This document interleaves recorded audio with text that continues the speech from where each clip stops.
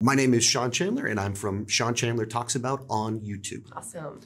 And so, with this film, one of the things I really enjoyed about it is how, on the surface, it's this horror thriller, but the deeper you dive in, suddenly it's fantasy, and Yes. then Irish lore is blended in there.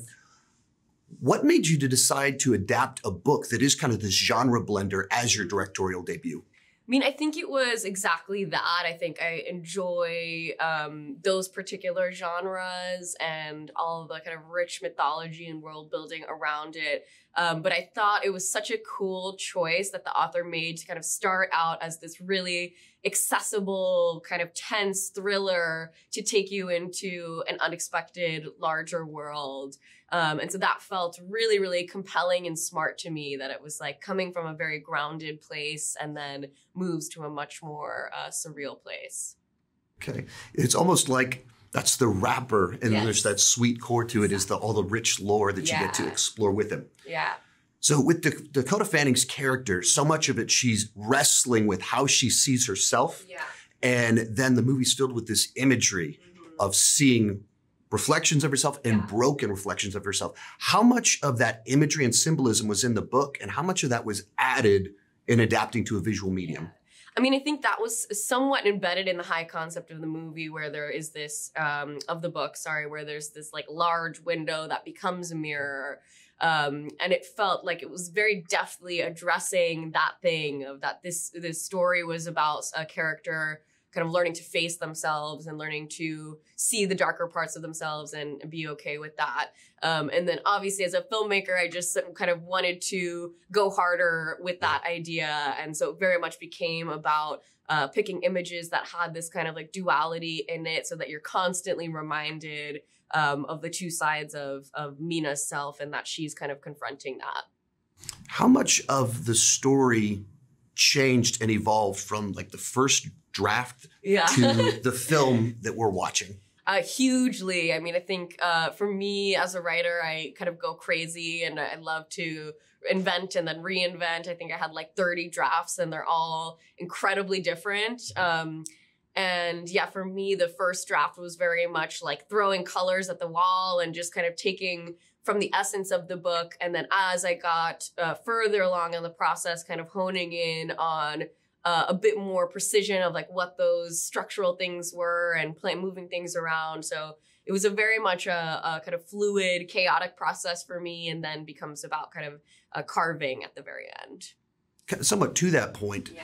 the movie is kind of a series of mysteries Yes. and revelations. Yeah. In kind of crafting it, how did Yeah. you decide when we you should reveal each piece of the lore and answer each question?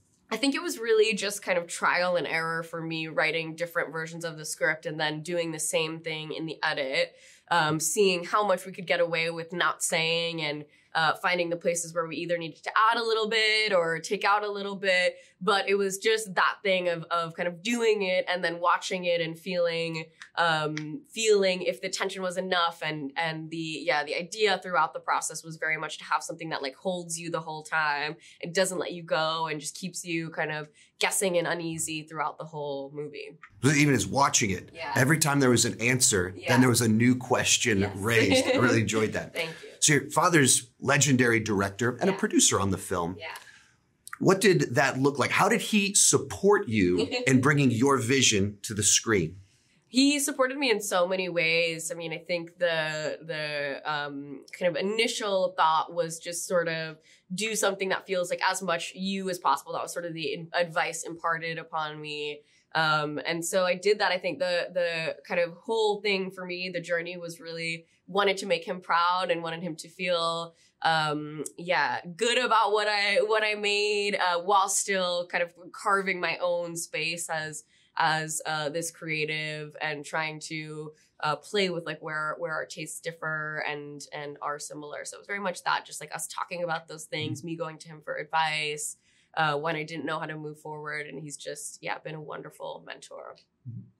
So several of your father's films are very special to me. Are which of his films are special to you?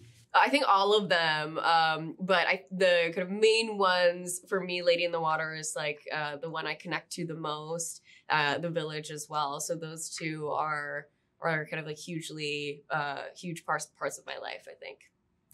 And I always love to introduce people to one of my favorite films. It's like a hidden gem. What's a movie that you love to recommend to people and introduce them to? Mm.